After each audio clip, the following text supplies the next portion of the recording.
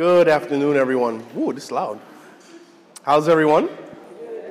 Great to see you all. Is this too loud or is it all right? That's good. How's everyone feeling? Yep. Fighting, struggle. You know, it's Monday. You can't. You, that's always. Uh, uh, so, so before we get started, I would like to formally apologize for the setup this evening. Um, the events team is on vacation after the uh, EHL conference they had, a lot of running around that week.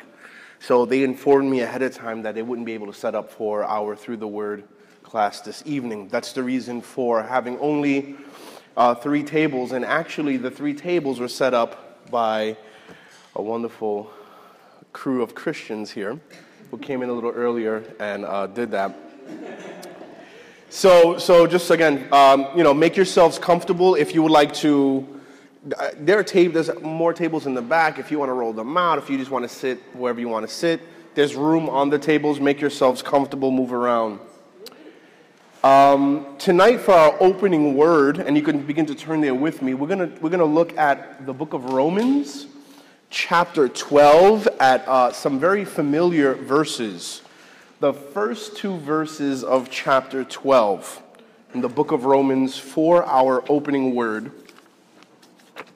And then we will be segueing into the Apocalypse, the book of Revelation, where we have left off in chapter 12. And last time we met, we spoke on spiritual warfare. So, for our opening word, we are in Romans chapter 12, verses 1 and 2. I'll give you a moment to turn there. I see some of you are still turning there.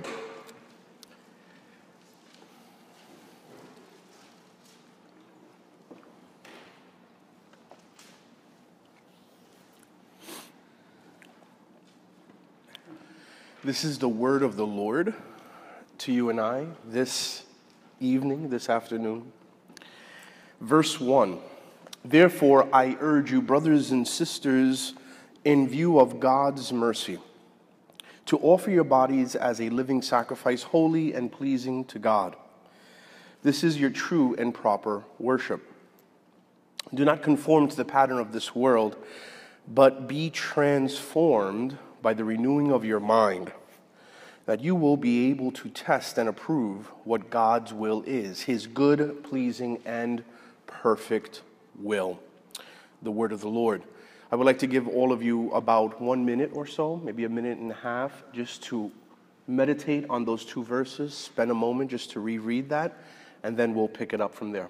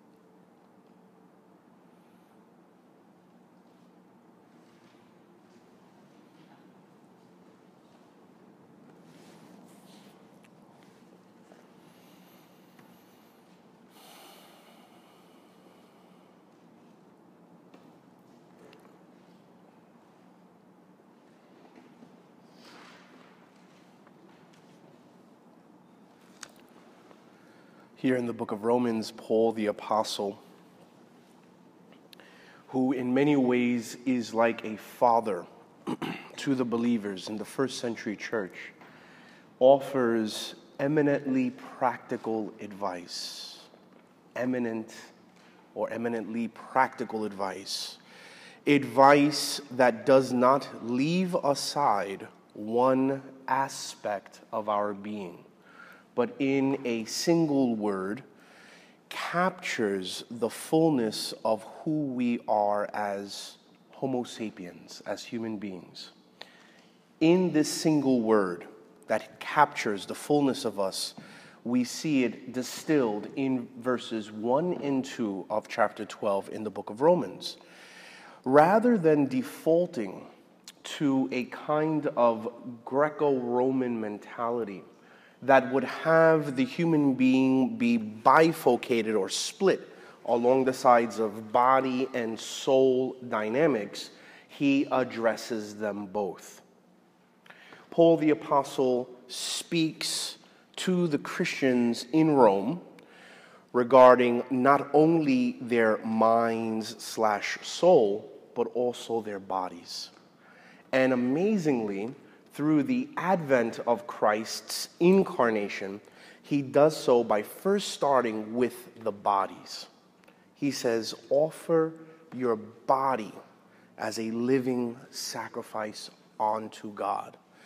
And he says this in light of the mercy of God, as we see here in the opening verse of chapter 12. He says, In view of God's mercy. And if you're taking notes or you are uh, inclined to uh, underline in your Bible, I would just encourage you to, to, to underline or highlight that phrase, mercy. God's mercy. Again, mercy is mercy is not receiving what we ought to receive. In the great gospel of our Lord and Savior Jesus Christ, we see the beautiful enfolding mercy of God in the face of Jesus Christ. That rather than coming to us with a heavy hand for judgment, he comes to us with a warm embrace. Amen? Rather than wheeling ferocious judgment onto us in light of our own sins, God in himself, by way of his servant and son, Jesus Christ, takes upon himself the wrath due unto us. That is mercy. Amen? Not only is it mercy, it is grace. And he says, in light of that mercy, offer your bodies as a living sacrifice, holy and pleasing to God.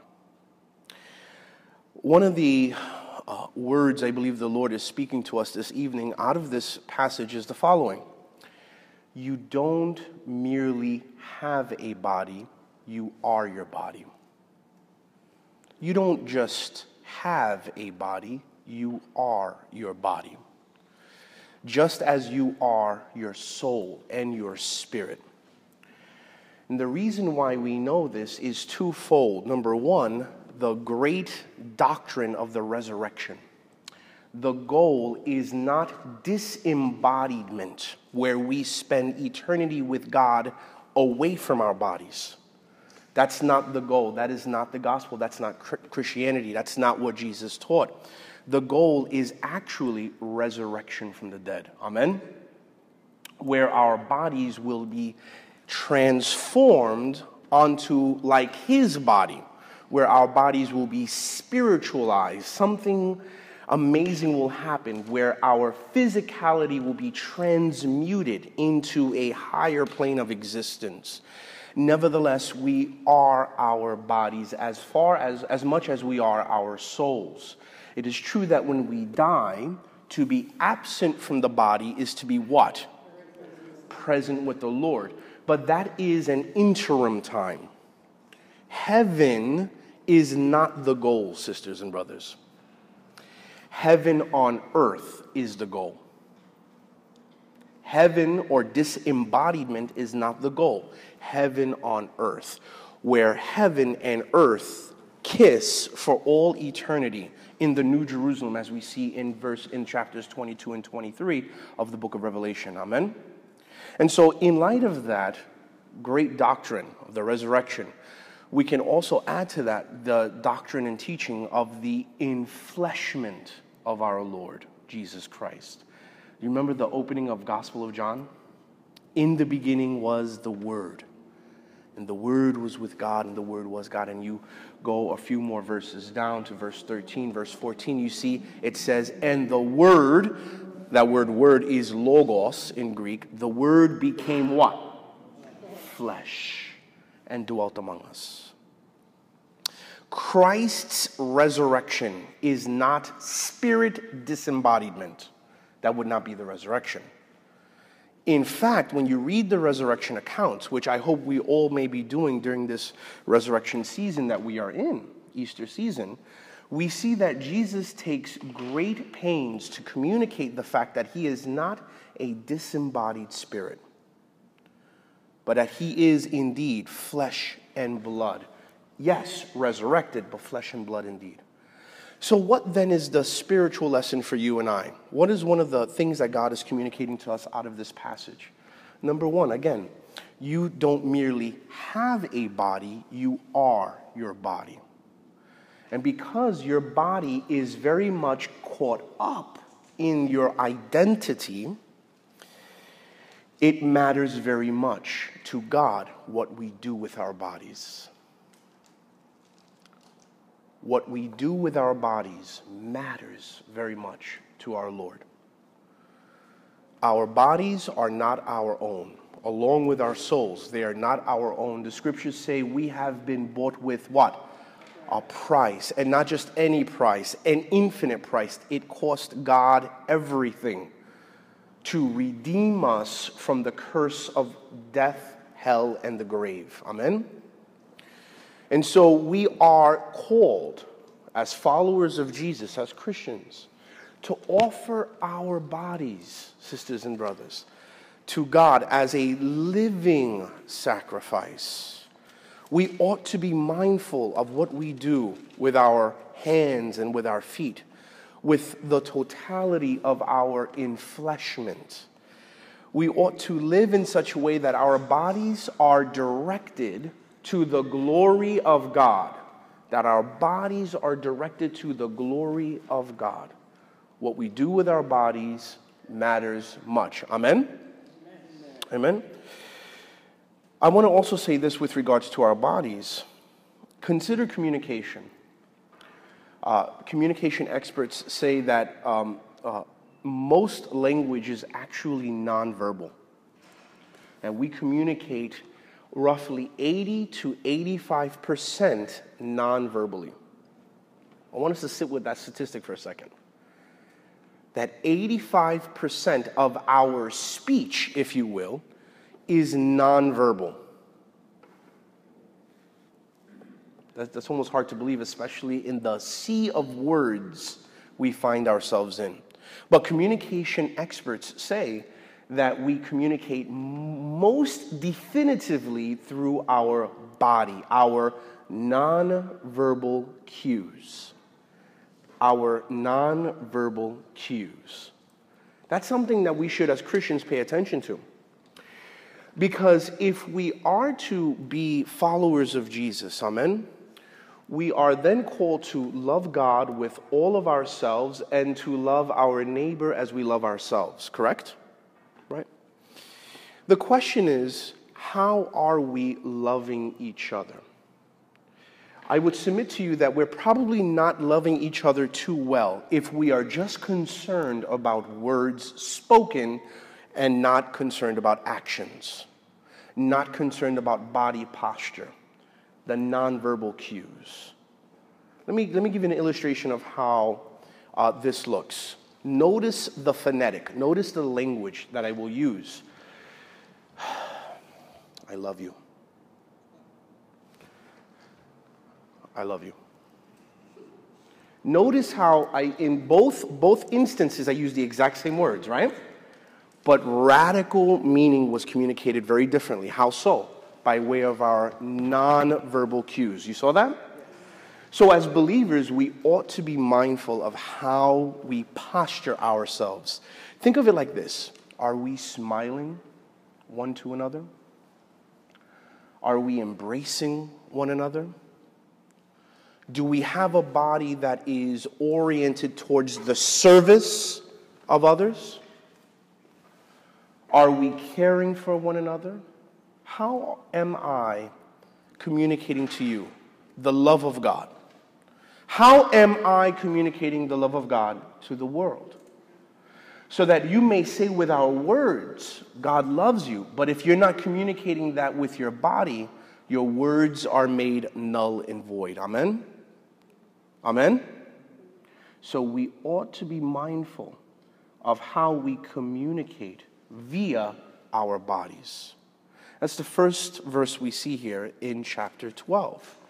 Offer your bodies as living, living sacrifices. You know, in before I move on past verse 1, I want to say, do you remember King David in the Old Testament? This man, this man is given the unbelievable title as a man after God's own what? Heart. This guy knew how to worship. He knew how to praise. He knew how to live for the heart of God. He was not perfect, far from it. But when the, when the, when the um, Ark of the Covenant was recaptured, David started dancing. And he did so in an unseemly fashion for a king, for a man of royalty. This guy was leading the parade, dancing, doing backflips, breakdancing. Who knows what David was doing? To the degree in which one of his ladies was like, Yo, David, you know, you're looking like a fool. And David had to rebuke her. He said, This is, this is for God. We all, we all should be doing this. So, not only are we called to love one another with our bodies well, listen carefully, we are also called to love God with our bodies well. Amen? So, when I'm worshiping the Lord, right, and I sense the Spirit of God, I sense the Spirit of God saying to me, loosen up a little bit. The question I have to have for myself is this Am I loosening up? If the Holy Spirit is encouraging me by subtle promptings, you know, Joe, it's okay, you can raise your hand up like this. If, if I sense the Holy Spirit calling me to do that during, let's say, a time of worship, the question I ought to have for myself is Am I being obedient? Because the Lord doesn't just want worship due unto his name with our lips alone, but with our lifestyles and even our bodies. Amen? we should be mindful of that. That doesn't mean that everybody who's jumping and praising and, and, and doing that automatically de facto loves God. It's much deeper than that. But it does say something about the person's spirit and heart for our Lord and Savior Jesus Christ, especially when it's done from an authentic place. Amen? Amen? So the body ought to be mindful. We should be very mindful of our bodies. Let me just say this also. The second verse in chapter 12, book of Romans. Do not be conformed to the pattern of this world, but be transformed by the renewing of your minds. And then he gives a conditional clause, a conditional clause. He, he says, Then you will be able to test and approve what God's will is, his good, pleasing, and perfect will. That's an amazing promise in the Bible. That is an amazing conditional clause because it's an if then statement. It's a then statement. He's saying this if you renew your mind, then you will be able to discern the will of God. But if I'm not in a place where my mind is being renewed, how then, I can I, how then can I hear the voice of the Holy Spirit concerning my own life? I may be trying to discern a decision this scripture here teaches me that I should be in a place where my mind is, in fact, being renewed so that I can hear from the Holy Spirit. Amen? Amen. What are some practical ways that I found myself um, um, being able to more and more renew my mind before God? Very simple. For me, it's been scripture, it's been spending time in the Bible spending time in the Holy Bible. It's in the Bible It's in the Bible that we ourselves are read. We don't read the scriptures, it reads us. When our heart comes to scriptures with the right, authentic posture, we find that we are disarmed before the Word of God. We don't come with our tools to examine and study the Word as if the Word is open to mere human manipulation. No. When we come with an open, posturing heart, the Word reads us, the Word studies us. Amen? The best kind of preaching is preaching that simply reads the Bible. A preaching that is rooted in the Word of God. A teaching that is rooted in the Word of God. Not the words of man, not the words of humanity, but fundamentally the words of God. And so I have found my mind being able to be renewed when I spend time in Holy Scripture. I would also say for me, one of the great spiritual disciplines that have helped me, actually, even in the past week or so, I've been finding breakthrough in my own life and in my own discipleship through journaling. I, I, I, I need to journal. And I praise the Lord for the spiritual discipline of journaling, especially when I go back into my journals and look what I wrote years past prayers that I've prayed, questions that I wrestled with, tears soaked in the journal, and seeing how God has brought me through. There's so many prayers that our Lord has answered, and we haven't given him the praise. So many things that we've come to the Lord for, and he's come through, but we didn't, we didn't acknowledge him. Many of us are like the nine leopards that were healed rather than the one that came back and gave thanks to Jesus. And so, so journaling is a beautiful thing because it helps us to keep a track record of God's faithfulness. And when I go back into my journaling and when I practice journaling, I find my mind being renewed. I begin to see patterns not only of God's working in my lives, but I even, I even begin to see patterns of my own flesh, my own brokenness, my sinful nature that needs to be dealt with, that needs to be uprooted, that needs to be spoken to in the power of the gospel. Amen? But I've only, for me personally, I've only been able to do that really um, uh, uh, efficaciously through journaling. So, journaling, spending time in the Word of God. I will also say this um, with regards to renewing our minds. It's quite simple. John puts it so eloquently, so simply.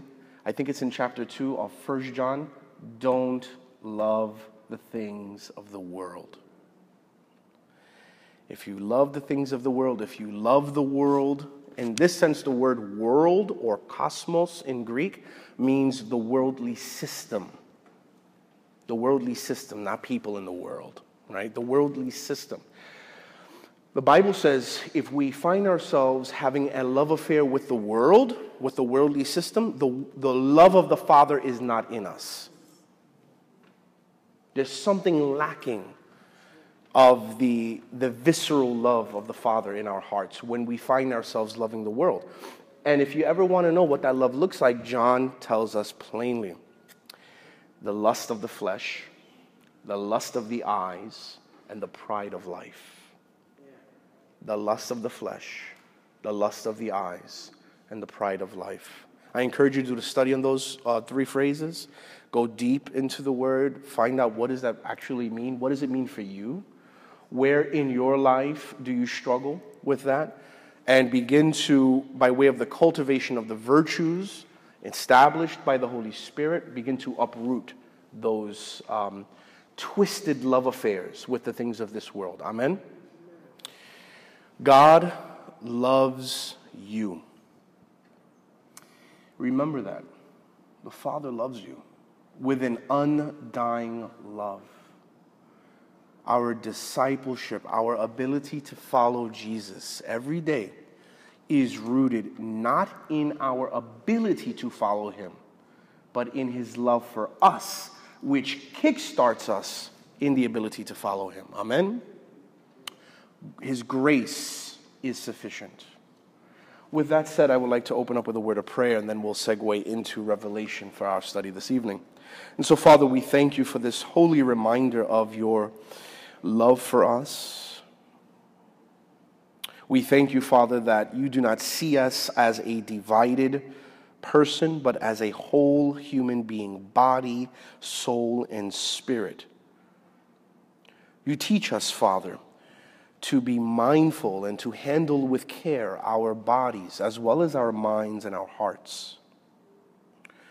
You teach us, Father, through your holy word, that our bodies matter to you. And what we do with our bodies, how we dress, how we communicate one to another, how we posture before each other, matters to you. We ask you, Father, that you would continue to open our eyes in this area, that we may continue to grow in holiness and in sanctification. Father, we also ask you, Lord, to help us renew our minds daily, spend time in the Word, to spend time communing with you, Father. And so we invite you into our minds and in our hearts and into our bodies, Holy Spirit, because we know, Lord, you have made us temples. You, unbelievably so, dwell within our hearts. And so we give you praise and thanksgiving for this. We ask that you would open your word uh, to us within the book of Revelation, chapter 12 and 13. Allow us to celebrate and rejoice your goodness, even during times of shifting and change that some of us are going through this evening. I ask that you would, Father, speak a solid word to us in such a way that we leave differently than we came in this, this evening. In the name of Christ, amen. Amen. Amen. Turn with me to the book of Revelation where we are, chapter 12. And last we met, we had an, a, a, wonderful time talking about uh, spiritual warfare.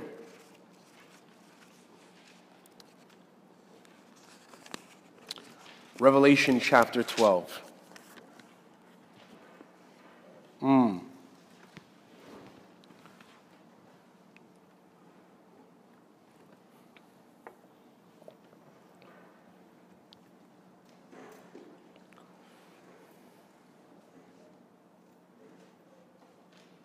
We there? Yeah. So last time um, we we, we read chapter 12 and the Spirit showed up. Amen? Um, reminding us of the importance of standing firm in the gospel truth, standing firm in the grace of God, in doing battle against the wicked one. And so, what I want to do is recap some of the uh, um, teachings that, wa- that was communicated last time we met and then move forward and press into chapter 13. So, you guys ready? Let's, let's just read just the first couple of verses of chapter 12 here. Again, it says, Great sign appeared in heaven, a woman clothed with the sun, with the moon under her feet, and a crown of 12 stars on her head. And she was pregnant and cried out in pain as she was about to give birth. Let's stop there before we go into verse 3. And we, we began to think through of the imagery portrayed here. And I said to us that that woman here signifies both Israel and the church. She signifies Israel and the church. In fact, that image shifts uh, as the prophetic images continue to be filled in in both chapter 12 and in chapter 13 it starts off as um, this woman being the personification of Israel. The personification of Israel.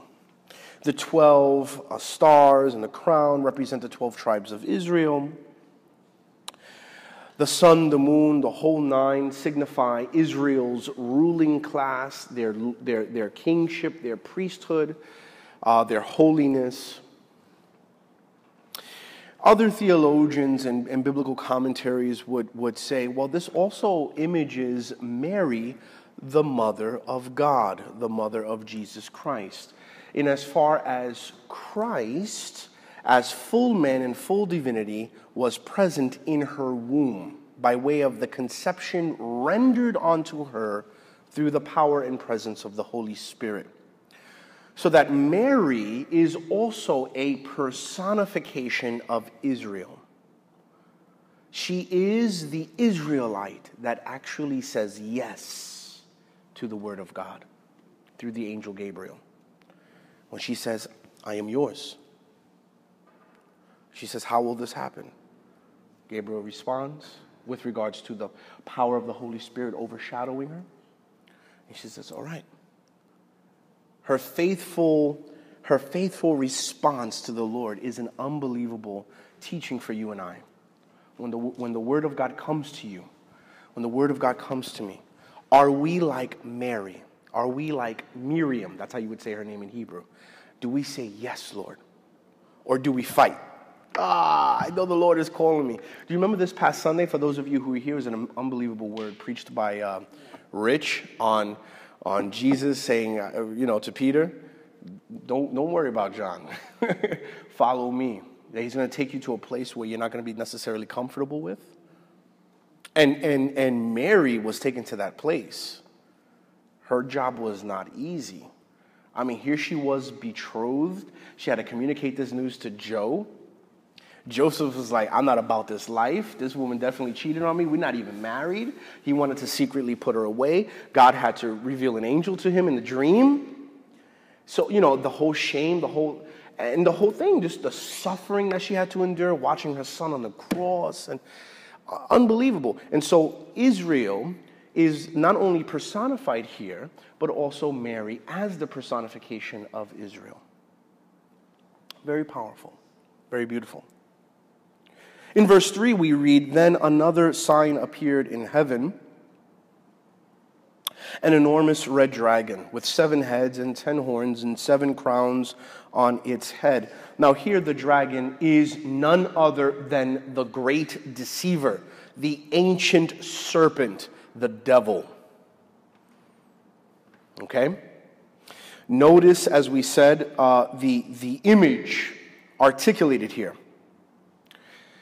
It's an enormous red dragon, not small, enormous in size, speaking of its breadth and its capacity to overshadow the world.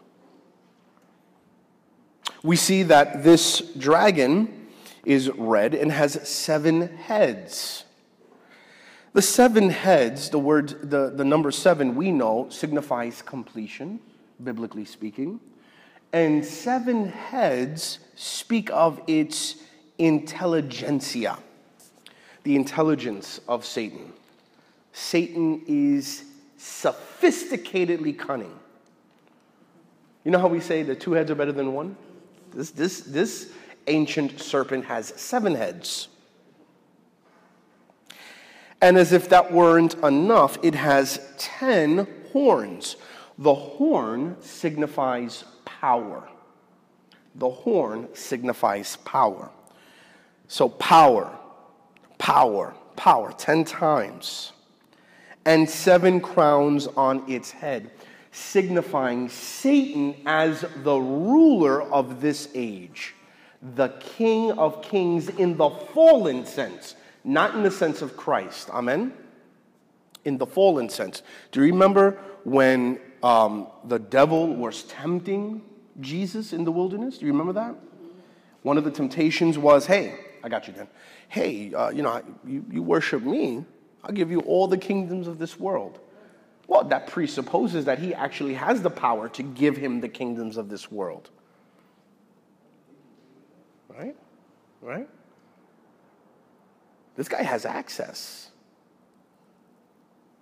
The devil has not only strategic awareness and intelligence, not only does he have power, illustrated here in the ten horns, but he also has lordship. The Bible says he is the God of this age, the God of this fallen world, the fallen worldly system.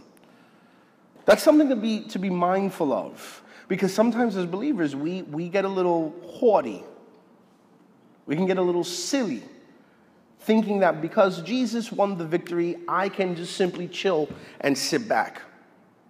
And the Bible says, Mm-mm. He has indeed won the victory, but you are to walk out in that victory. You are to renew your mind. you are to remember who is indeed King of kings and Lord of lords. And if we're not renewing our mind, if we're not being mindful of our bodies, we will easily be co opted to the stratagem of Satan. Amen? So, right, we started speaking about this in light of spiritual warfare. Dan, what's up, bro?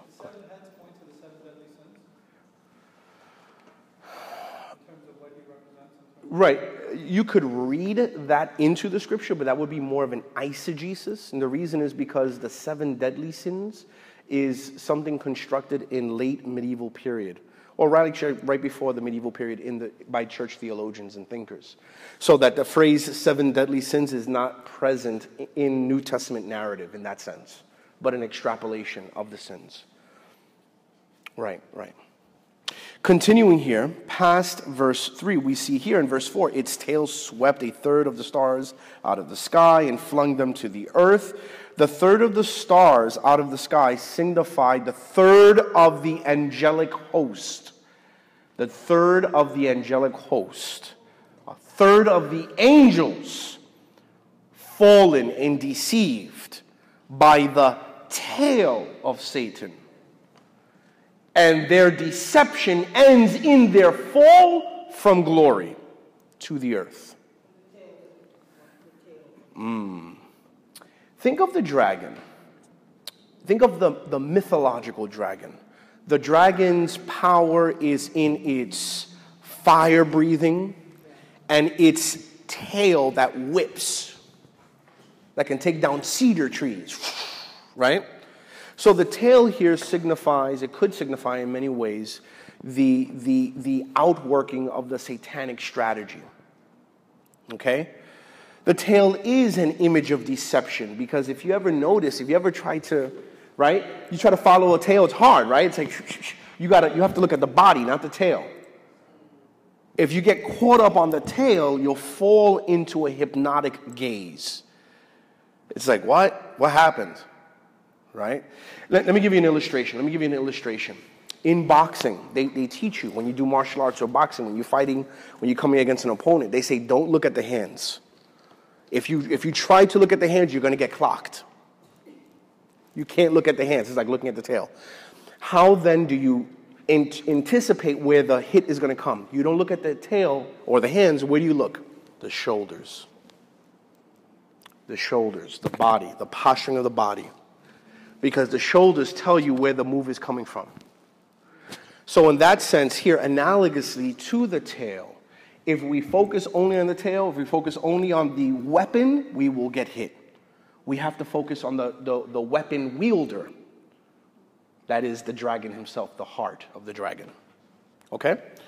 Um, it goes on the dragon stood in front of the woman uh, who was about to give birth, so that it might devour her child the moment he was born. Do you remember the uh, narrative in the Gospels when King Herod heard and, right, killed all the innocents in Bethlehem and tried to take them out, and that's it.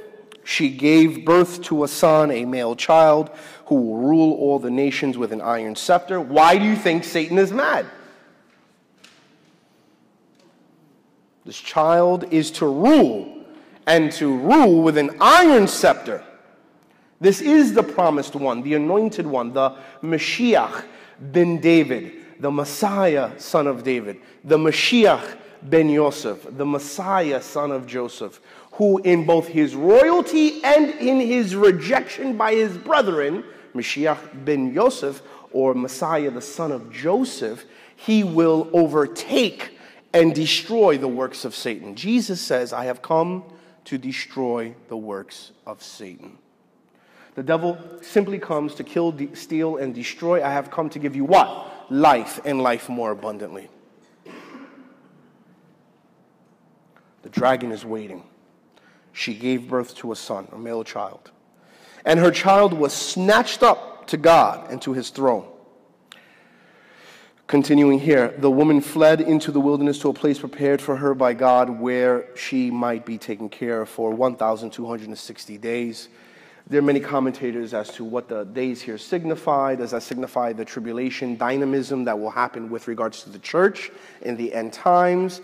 Does it signify Israel being in exile until they're brought home? There are different interpretations. The key here is not so much to get caught up on the numbers themselves, but how God providentially protects his own. Not only does he protect the son, he protects the woman. He protects the church. He protects Israel. Amen? Amen? The Lord even protects Mary. Do you remember when Jesus is on the cross?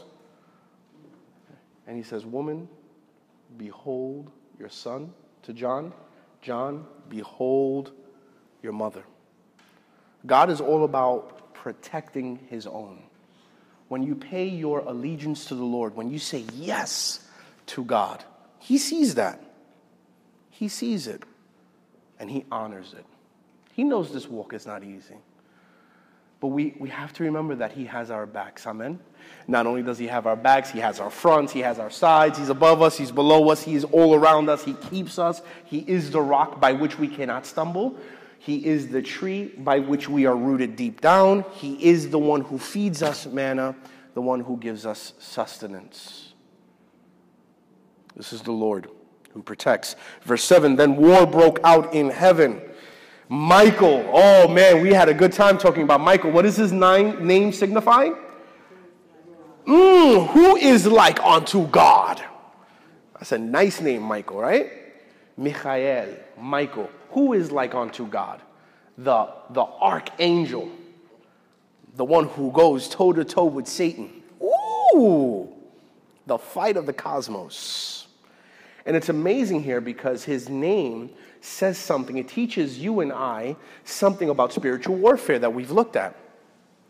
Notice how Michael doesn't come against Satan in his own strength. His very name is what? Who is like unto God. His strength emanates from his recognition of who the Lord is.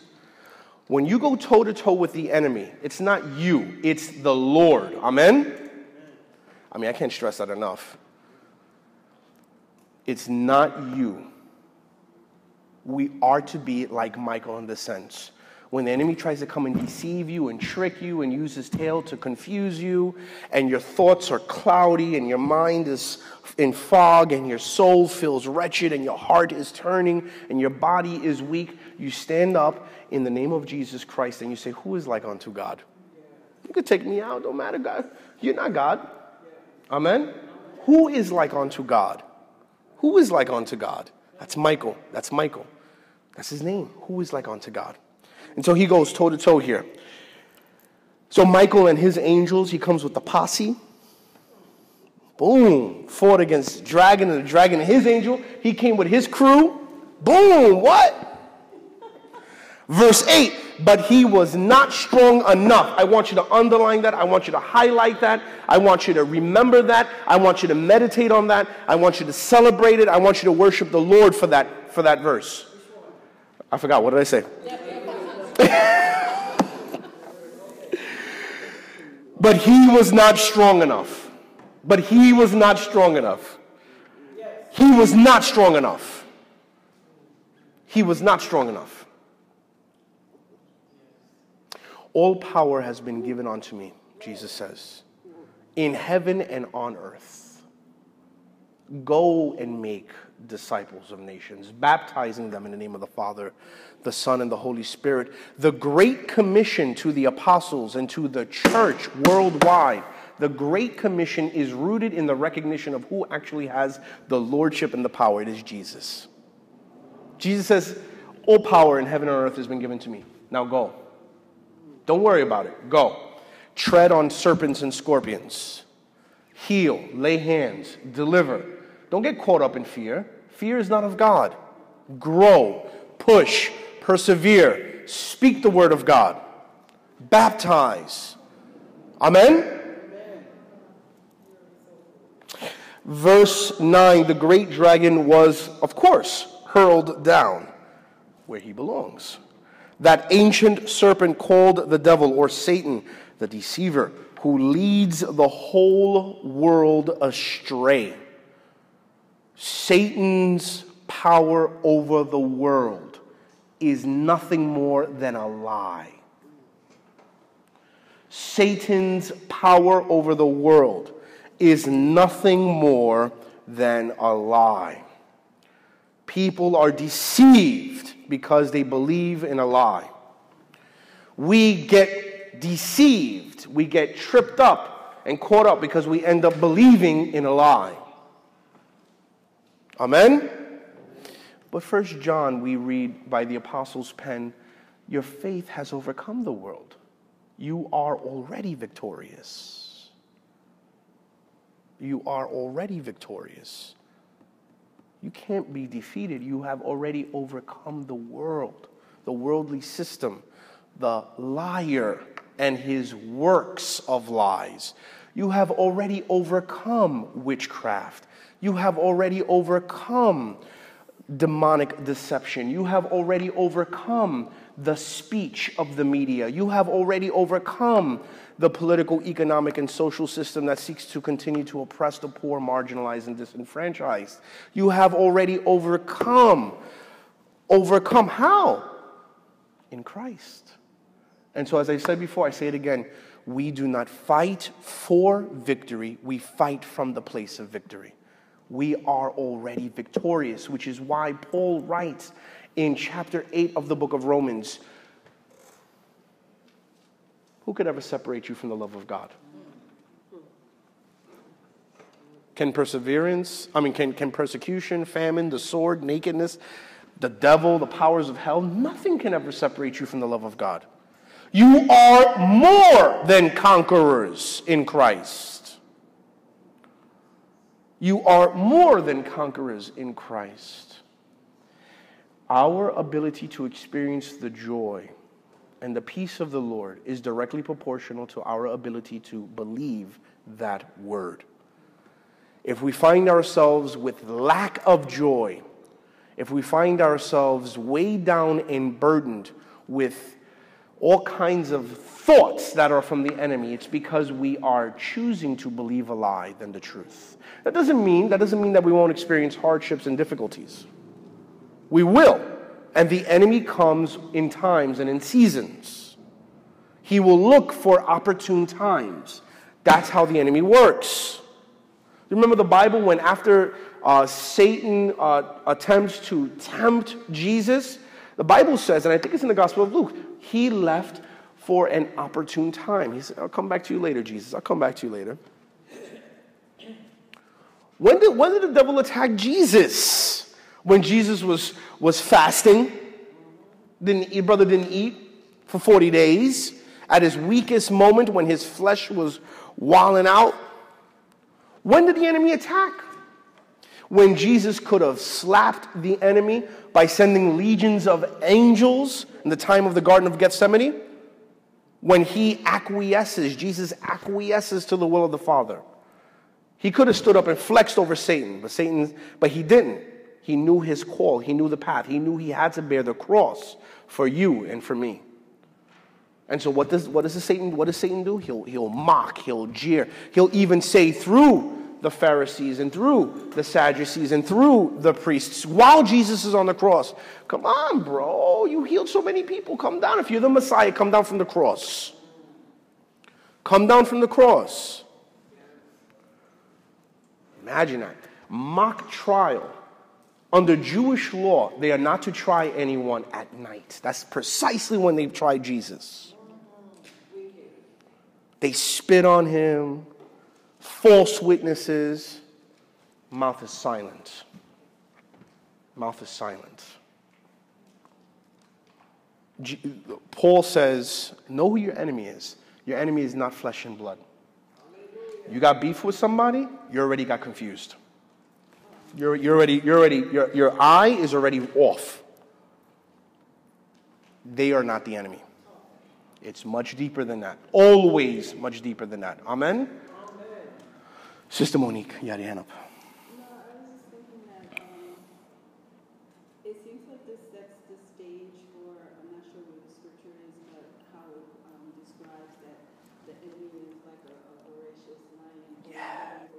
First Peter, yes. So he got kicked out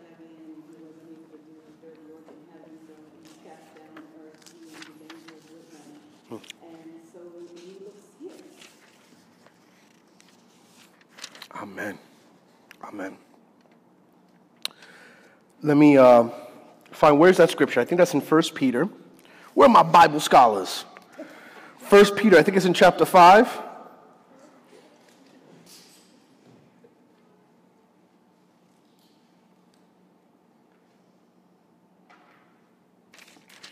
think it's in chapter 5. Yeah, yeah, yeah, chapter 5. Uh, let me just read it from verse 5 onward. Chapter 5, verse 5. You don't have to turn there with me. 1 Peter, chapter 5, verse 5. In the same way, you who are younger, submit yourselves to your elders.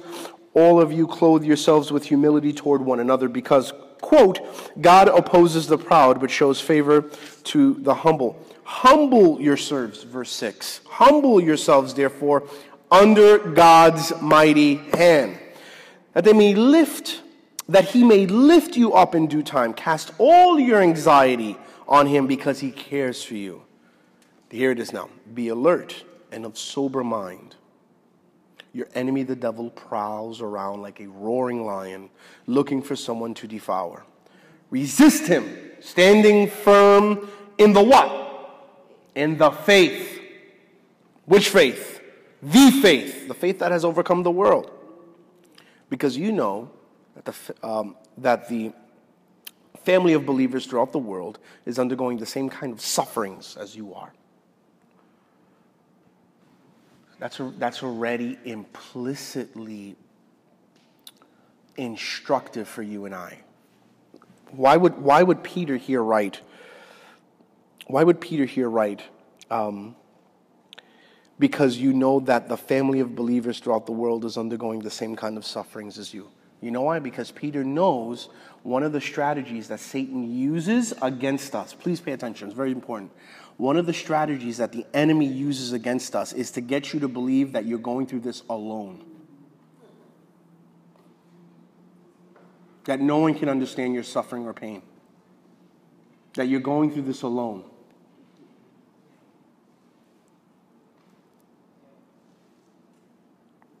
It's a lie. It's a lie. Which is why we need each other, which is why we ought to confess our struggles one to another, which is why we are to seek community and live in community and be with one another. Amen? Amen. Love covers a multitude of sins. But we cannot receive love, neither can we give love if we are isolated, alone in our own private cell in our mind.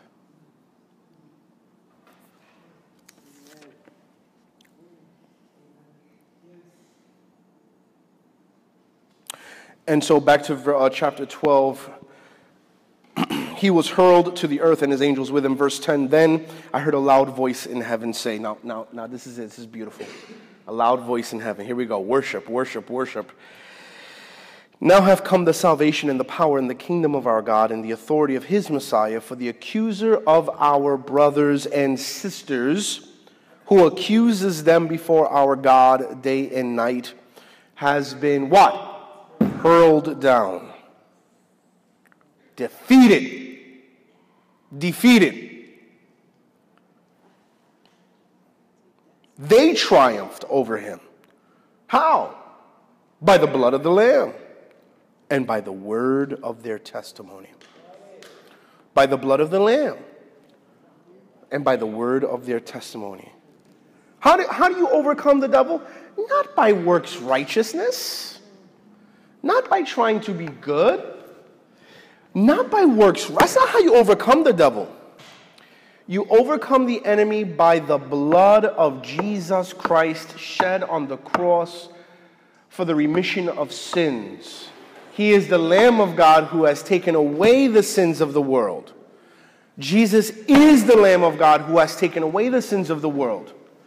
When we plead the blood of Jesus, when we sing about the blood of Jesus, when we confess the holy flow, divine blood on the wooden cross, we proclaim victory.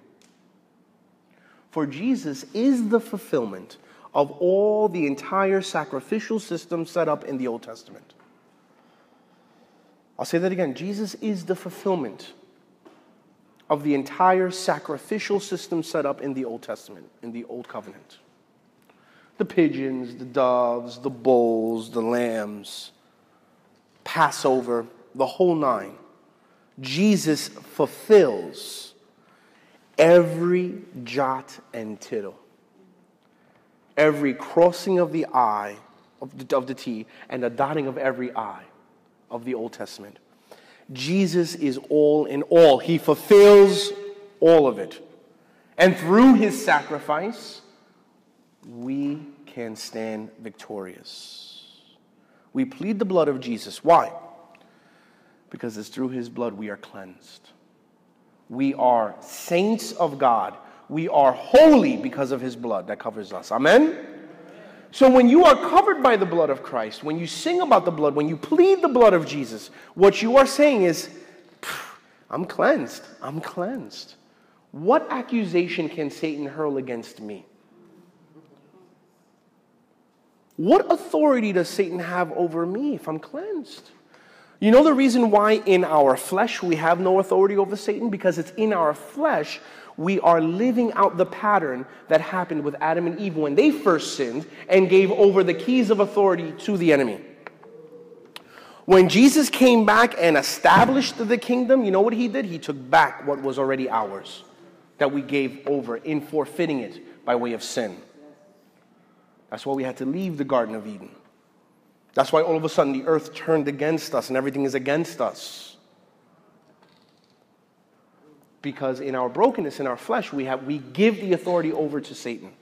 And this happens not only from a cosmic perspective, but even particularly in our individual lives.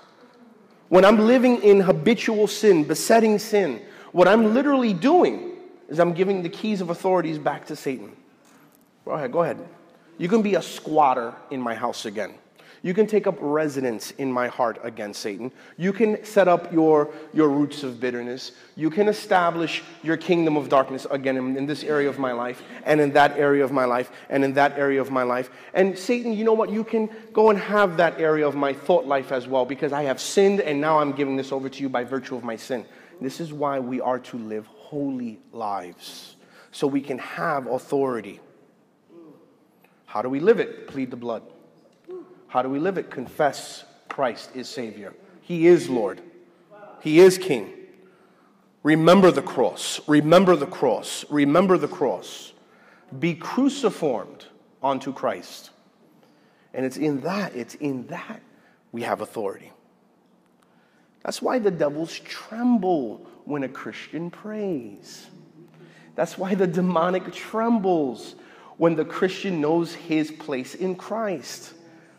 When the sister, when the beloved daughter of the Father knows her place on the throne room of God, the demonic tremble. Why? Because this believer, this Christian, knows that they are cleansed by the blood of Jesus. It has nothing to do with them. So the enemy knows this, right? The enemy knows this. And so what he does is he comes at us with the seven heads and the, and the ten horns and the seven crowns, right? He comes all kinds of sideways. Boom, boom, right? He'll get you to fall into little patterns of sin. Boom, now you're in this little cycle of sin, right? Then he's going to be whispering into your mind, look at you. Oh, bro, you shouldn't, come on. You can't be doing that. You a Christian, really? You about that life? Right? Get lying to you, lying to you, getting to getting you and I to believe in the lie. Now, once we start believing the lie, what, what happens? We sin and then we fester in our sin. I'm not even going to go to confess. Not yet. i'm may do it tomorrow. Let me just self wallow. Let me beat myself a little bit. Let me, let me experience my distance from the Father. I'm going to not repent yet. I'm, gonna, I'm just going to weep. And then maybe like stay on my knees for 12 hours. Listen, that's exactly what the enemy wants. Because guess what? He gets you and I to fall into the logic of thinking, oh, well, if I do this to myself and my body, then I'll win my I'll win approval back onto God. So if you look at documentaries and you study the medieval church, you study the ancient church, and you see why certain people got a little crazy in self-flagellation and they sin and they start beating themselves and whatnot, it's the same logic. It's the same liturgy of repentance that you and I tend to go through. It's just maybe a little bit more extreme in certain areas. We don't overcome Satan by self punishing, but by pleading the blood. By pleading the blood of Jesus. It's the blood, it's the cross. Amen? It's the cross. And the triumph over him by the blood of the Lamb and by the word of their testimony. I mean, we could just stop right there for the rest of the evening. I mean, that's, I mean, I would like to go further. We will. But check that out the word of their testimony. Why is it that we go through great lengths in New Life to capture people's testimony via, the video, uh, via videos? Like, what's up with that? Why can't we just dunk people in the water? It's like, bro, let's just get baptized. Boom. Like, what's up with this confession of, of testimonies? It says something. When we remember our testimony, go ahead, Dan. It's,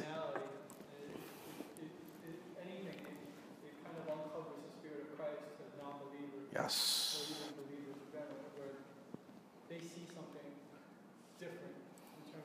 Amen. That's right. One of the most powerful, powerful evangelistic tools we have at our disposal is our own story. Our own story. How God has set us free. That is our testimony. That is, how, that is our testimony. That's our testimony. That's right. That's right. You got it. That's it. Testimony is key to overcoming the wicked one. So, okay, what does that mean in like, you know, every day, right? As I said, the enemy will attempt, as he always does, to, to get us to forfeit gospel thinking for fleshly thinking right? He'll say, all right, you know, comes with the lies. And when we do that, living out of a context of sin, we are actually living out of the place of for, for, forgetfulness. We have forgotten where God has taken us from. Our testimony reminds us of where we come from. Our testimony reminds us of the power of God to deliver. Our testimony also keeps us humble, remembering that we weren't born Christians and that sin is very real. And so our testimonies ought to teach us humility, right? Humility, holy reverence for the King of Kings and his power. Humility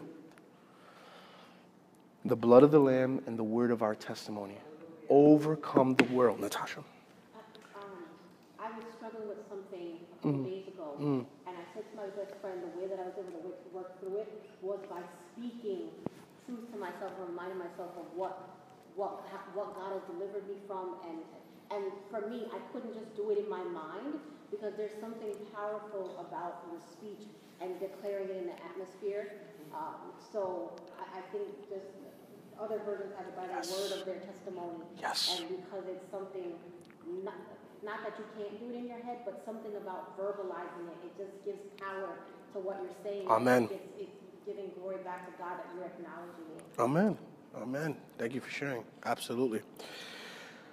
But check it out. It, go, it goes on. They did not love their lives so much as to shrink from death. Persecution martyrdom. To be a martyr, the word martyr comes from the Greek word martus, which means witness, sign, or witness. They did not love their lives to the degree in which they sh- said no to death. They said, You can kill me, I'm still going to praise my Lord. I'm not going to, what? I would like for you to, when you get a chance, take down the following name. For those of you who are writing notes or whatever, take the following name down. He has a weird name. You know, his ancient. His name was Polycarp. P O L Y C A R P. C A R P, Polycarp. Polycarp was a disciple of John the Apostle.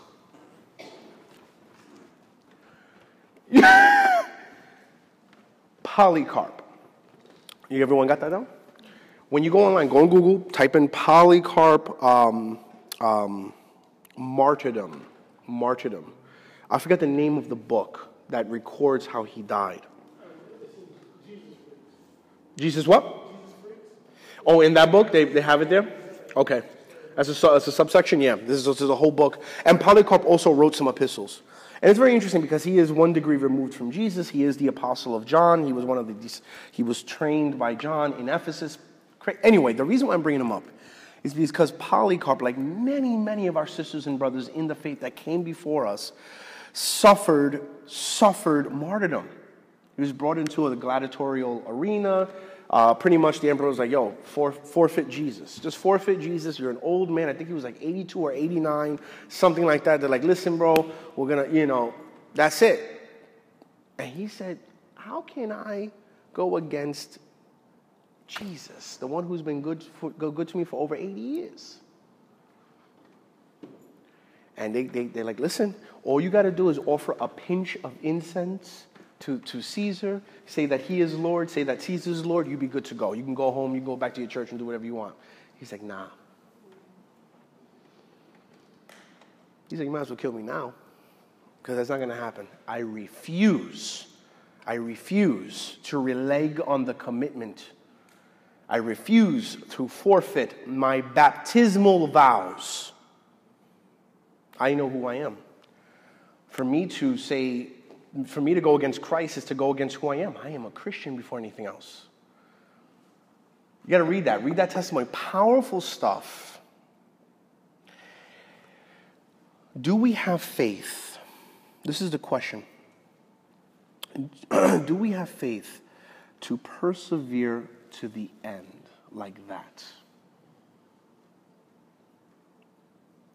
Do we have faith to persevere to the end like that. Verse 12, therefore rejoice, you heaven, you heavens and you who dwell in them, but woe to the earth and the sea because the devil has gone down to you. He is filled with fury because he knows that his time is short. Verse 13, when the, when the dragon saw that he had been hurled to the earth, that's already an amazing line. I mean, that's such a weird way of writing it, isn't it? Let me read that again. When the dragon saw that he had been hurled to the earth.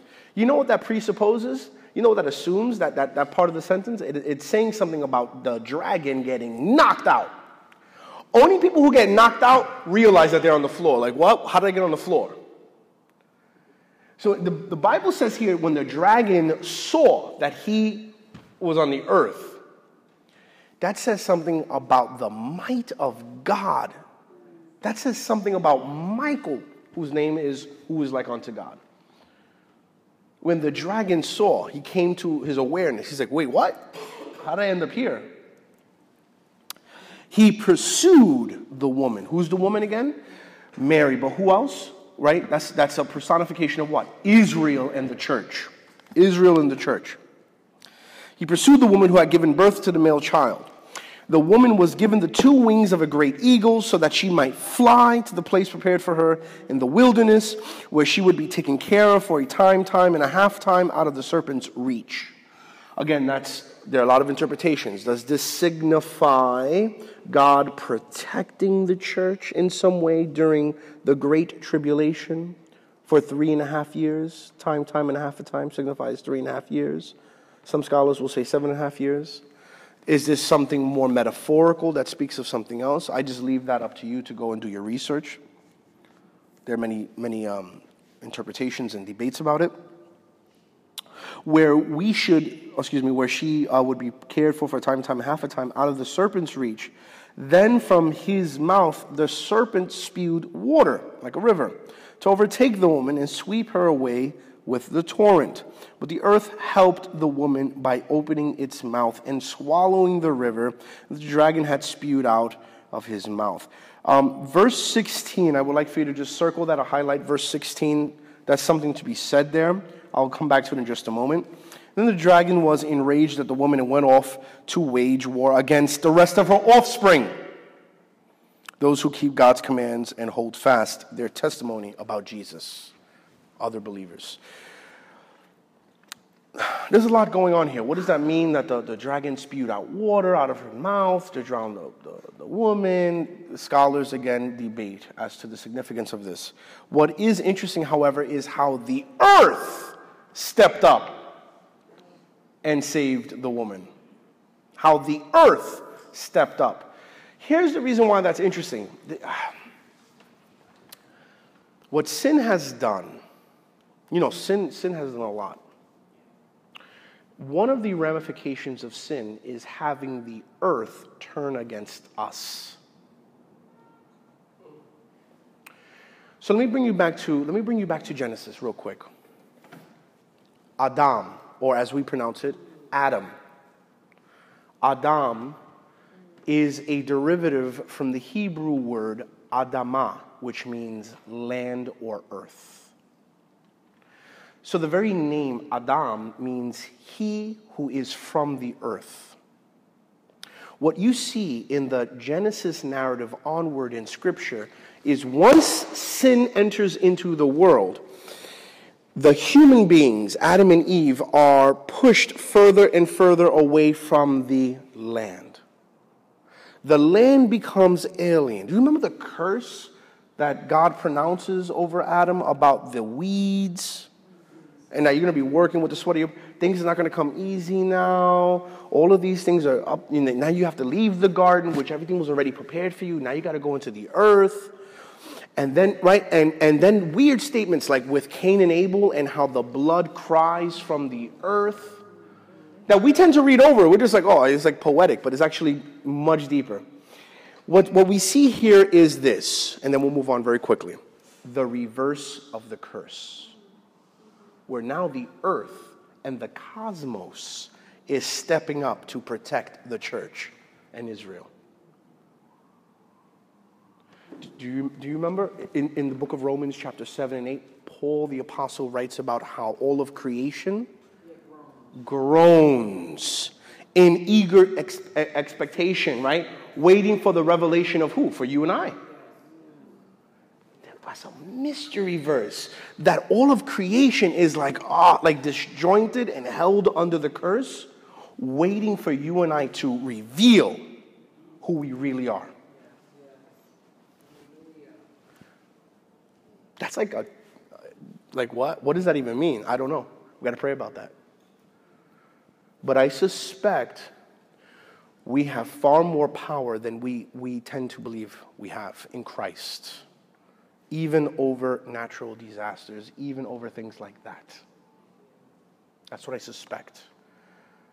There's something about even the created order waiting for us. When you walk outside and it's like, the trees are blossoming, beautiful time of spring, right? And, and you keep that scripture in mind, like, like all of creation is like looking at you, like, like when are you going to step up to the plate and let Christ shine through you?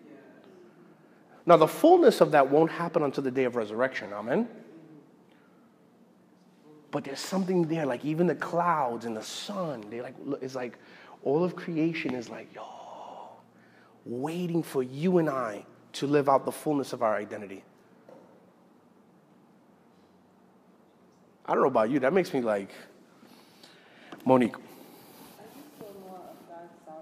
Mm-hmm. Mm-hmm. Um, mm-hmm. You know, the devil is like the prince of this world. Yeah. but God is the God of all creation. Yeah. And he's the God of heaven and earth. You got it. And he used water, the serpent, to try to come in a different way Mm. at the woman, to attack her in a different way. But God is God over even that. That's And right. He took that very thing. That's right. That the devil tried to use against the woman. That's right. Thinking like Joseph, what the devil, what the enemy meant for harm, God turned it for good. Yes. But he turned the very earth that the, the devil is the prince of, he opened it up to save the woman from the devastation that the devil was trying to. Because he is God, He is Lord, He is King, He is sovereign, He will not be subdued. Providence, providence, providence, providence. How you feeling, Teddy? You good?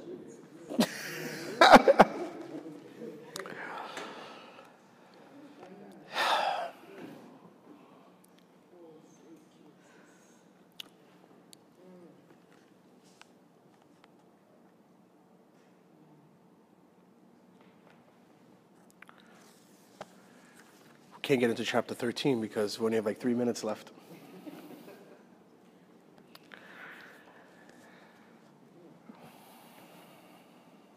Let's, let's, just, let's just let the next two minutes or so, let, I just want to open it up.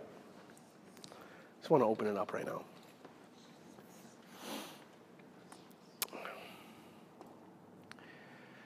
Let's turn, let's turn to the Lord in prayer right now and worship.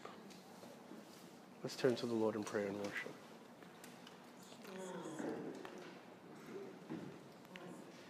We glorify you, God, and we worship you. We praise you, Father, and we give you thanks. You are altogether beautiful, lovely, a rose of Sharon, the Ancient of Days. We thank you, Father. We thank you, Son. We thank you, Holy Spirit. We worship you, O God, and we give you thanks for this word, for your presence, for your love. We thank you for cleansing, the cleansing flow of the cross. We thank you for the blood of the Lamb of God. We thank you for the word of our testimony and how you've delivered us, how you've set us free. Lord, we thank you for the testimonies around us, for our sisters and brothers here in this room. We thank you, Lord. We worship you, Lord. We give you thanks. May your power continue to be displayed. We thank you, Lord. Yes, Lord. Yes, Lord.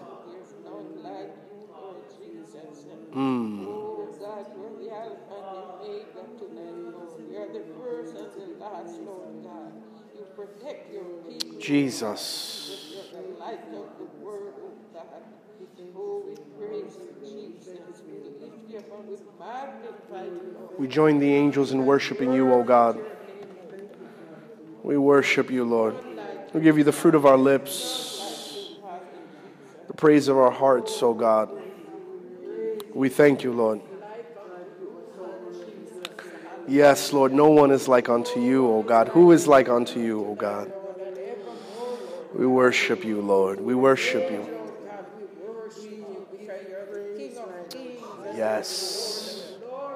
Sit enthroned in the midst of our praise, O God. We worship you, Lord. We thank you, Father. We thank you for your word, Lord. Yes, for your presence. Mm. Thank you, Lord. Jesus. Jesus. Jesus.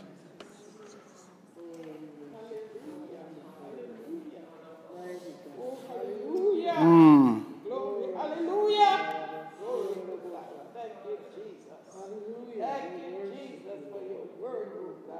Yeah. Help us to come alive in grace. Yeah. Hallelujah. Oh God, we trust in no other. Yes, Lord. You're living God. God. Hallelujah. Thank you, Jesus. Thank you. Thank you. Lord. By your spirit, Lord Jesus. Never let go. Hallelujah. Oh, Jesus. Hallelujah. Bless your holy name. Bless your holy name. Father, I ask that you would pour out your richest blessings on every single person here this evening. And you would continue to break uh, the chains and the yokes uh, around our necks and our minds, Lord. Set us free, that we may worship you with, with, with a spirit of freedom, Lord. That is your Holy Spirit.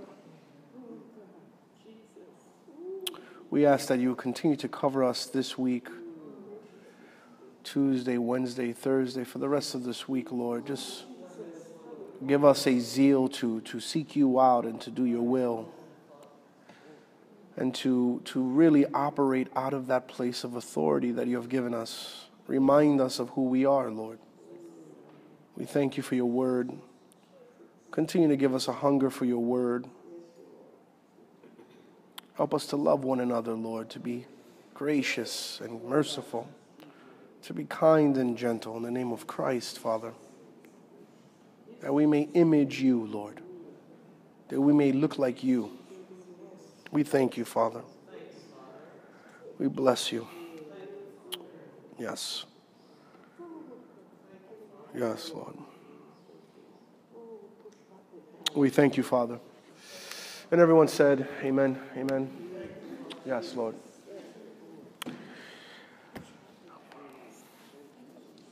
I love you guys. Get home safe. God bless you all.